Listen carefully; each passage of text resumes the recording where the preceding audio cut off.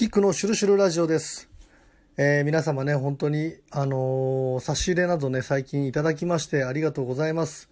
えー、日々続けているこのキックのシュルシュルラジオ、ね、つれづれなるままに不思議世界のことなど話していきたいと思うんですけれどもね、こういうね、まあ、配信型だからこそタイムリーにね、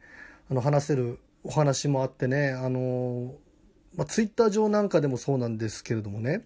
5月11日、えこれ今ね、ちょうど録音してるのが5月11日なんですけれども、まあ、この5.11に大地震が来るのではないかみたいなね、あのー、結構書き込みが出てたりとかそれが噂になったりしているんですよね。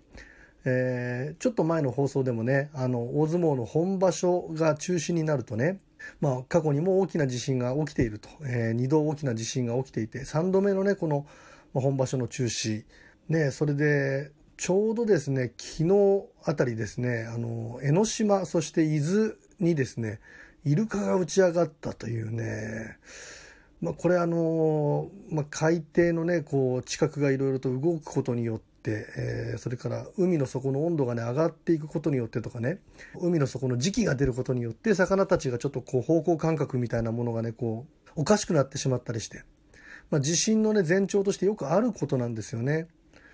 で、イルカがもう打ち上がってるという。で、江ノ島にね、イルカが打ち上がるなんていうことは本当にね、過去、歴史を遡ってもね、ほぼないんじゃないかなんてことをね、言われているんですけれどもね、まあ地震に関しては本当にね、これはあの、古来からね、なぜか説明がつかないけれども、偶然の一致というものが起こる。これをね、えー、まとめたものがことわざと言われていてね、天才は忘れた頃にやってくるなんていうふうに言いますけれどもね、みんながね、こう来るんじゃないか、来るんじゃないかと思うとね、あの意外と起こらないっていうことがあるんですよ。それを考えるとね、やっぱり人々の集合無意識というもの、意識というものがね、何かこう抑えになってい、くということもあるのではないかなんてね、思ったりもするんですよね。反対にその年がね、えー、まあ年動力の話しましたけれどもね、この間もね、年力が、まあみんなが忘れてしまってね、別のところに意識が向いている時に、地震が起きてくると。なぜかそういうシンクロが起きる、共時性が起きるということでね、まあ忘れた頃にやってくるということなんでね、まあ今本当にね、ツイッターの時代とかね、こう SNS の時代でね、様々なそういう書き込みがね、出てきて、もちろんその中にフェイクもあるんだけれども、地震に関してはね、それで、やはりみんながこう、あえて意識をする、怖がるということで、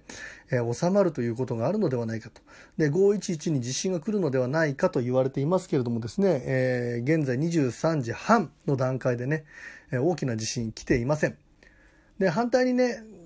それで11日に地震が来るんだなんてことをね、思っていてね、明けたね、12日、13日、14日あたり、なんかやっぱり大丈夫だったなって思うあたりなんかがね、ちょっと怖いななんていう感じがしますしね。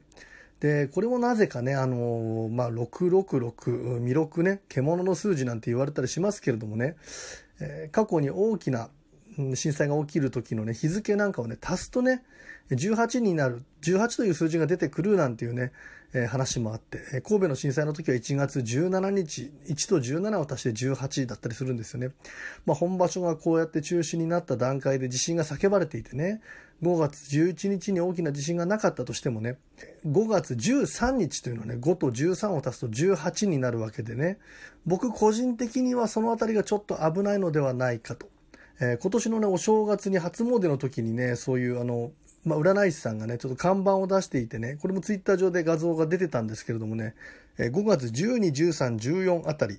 えー、駿河湾近辺で地震が起きるのではないか、なんていうことをちょっと言われているんですよね。で、ちょうどこの時期にね、あのー、水星が地球に接近するということもあってね、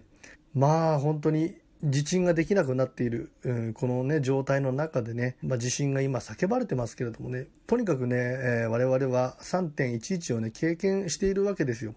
あの時にね、どんなことがあったんだろうとかね、防災の対策ということで前もって意識して、現実にみんなのこう念力でね、意識することによってね、地震をね、こう、まあ、散らすとかね、抑えるというね、意味合いがあったりとかね、あるいは本当に個人としてのね、防災の意識、高めるということ、これをね、この数日ちょっと忘れないようにしたいな、なんていうふうに思っているんですよね。やっぱり何かみんなが不安になって、ツイッターなんかでも、まあ、騒がれているということ自体がね、みんなの集合無意識というものがね、こう動いているんだなという気が非常にしますね。少しでも嫌な予感がしたら前もって対策を立てるということを皆さんでしていきましょう。